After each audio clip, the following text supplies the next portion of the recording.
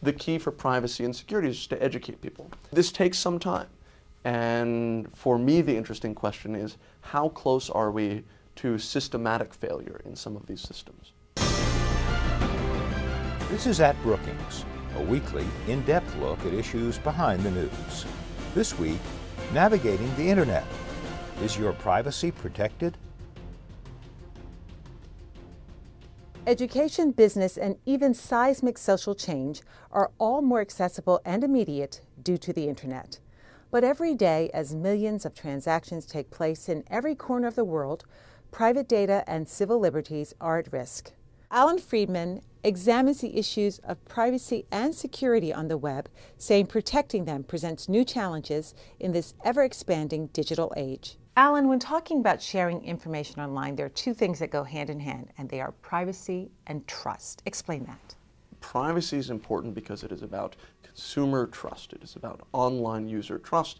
If people don't feel comfortable sharing their information and leaving their information, then the entire information economy collapses, or at least a certain sector of it does. Well, how can Internet users trust that their privacy is being protected? American privacy laws usually, uh, or the policy, has been built on this principle of notice and consent.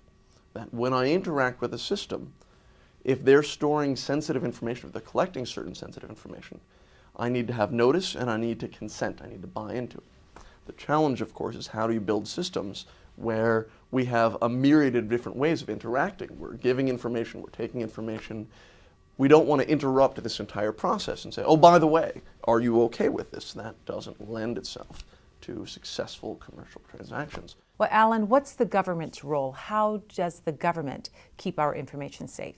It ranges from internal management.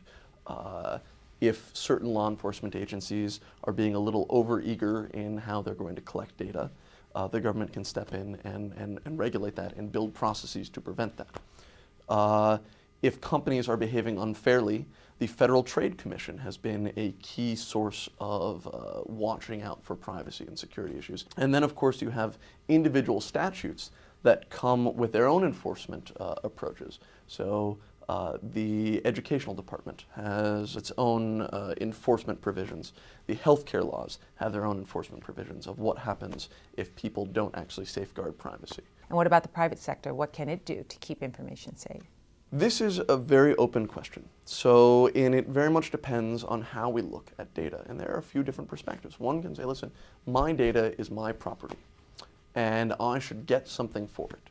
Now, the response to that is a lot of the stuff we get on the web right now, we get for free in exchange for data.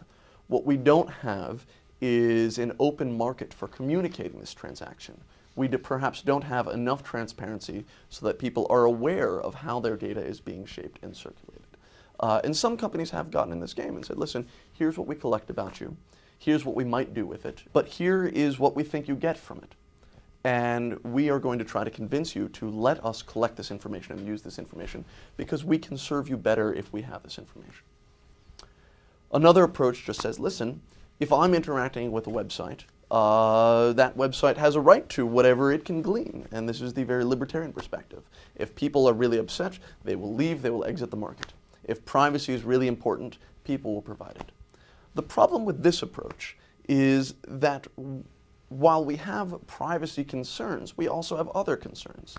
And it is, I think, unfair to say if people aren't allowing privacy to be the main reason they make their decisions we should pretend there is no privacy issue. And there's a bit of a dichotomy there too much privacy, not enough privacy. So, how much privacy is too much privacy?